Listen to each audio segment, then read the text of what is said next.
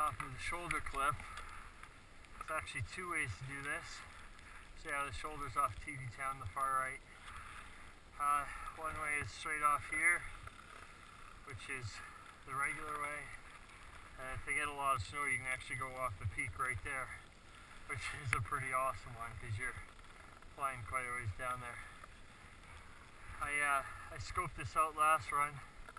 It's actually the snow isn't that great down there, so we're, uh, we're going to stick to this one.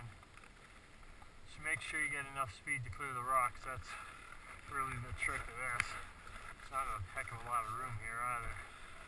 Let's see, where are we? Let's give this a go.